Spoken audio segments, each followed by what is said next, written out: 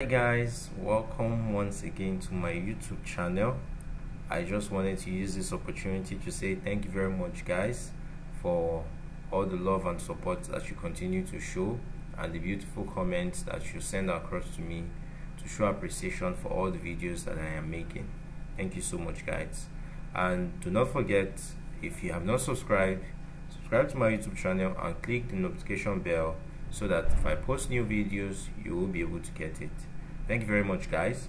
Now, our sole focus in this video is how to create uh, the token that we'll be using for all of our tasks.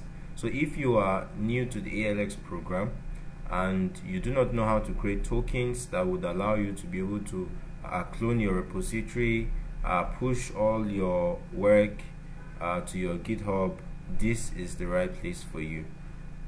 I've realized that many people have had issues uh, when they try to clone their uh, repository uh, because they made the wrong token. Others have also had issues when they attempt to push their code. Uh, the error message that they get back shows them that either they've created the wrong token or that an authorization has been taken off a particular token. Alright, so this uh, tutorial I will be explaining to you how to create the right token for your ALX tax. So I'll start by signing in to my GitHub account. Already I have my username and password saved. Okay, so now I've been able to log into my uh, uh, GitHub account. The next thing I need to do is come to uh, the top right corner here and click the drop down arrow here. I click on settings now once I'm in settings, all I need to do is scroll down and click on developer settings. So after clicking developer settings, the next thing I need to do is to click on personal access tokens. Now at this point, two tokens will display for you. The first one says fine grain tokens and the second one says tokens classic. Just select tokens classic. Now when you get to tokens classic, you see several other tokens that you already have but if you do not have any token at all, you would see nothing here. Now the next thing you need to do, uh, if you've created a token before, you find it here. If you're just about to create your own token, no problem at all. Everybody, all you need to do is just click on generate new token. Now when you hit generate new token, two options would also display for you again. You see generate new token beta, uh, which is a fine-grained uh, repo scoped, or the second one that says generate new token classic. Now this generate new token fine grained uh, is only useful or available uh, or would only be useful for those who are coding with a virtual machine. So if you have a virtual machine and you have Git installed, you have the GitHub installed on your system, you can actually use the fine grained repo scope token and you will be able to push your code.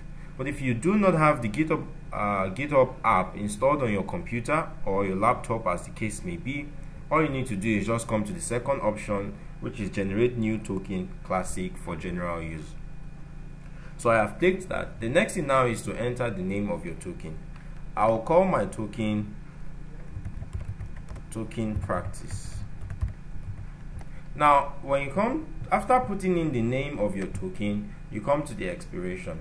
Uh, for the purpose of this video I will be choosing an expiration of 7 days. However you can choose to pick between 7 days to no expiration. So if you will be creating your first token for your ALX task, I would implore you to create no expiration.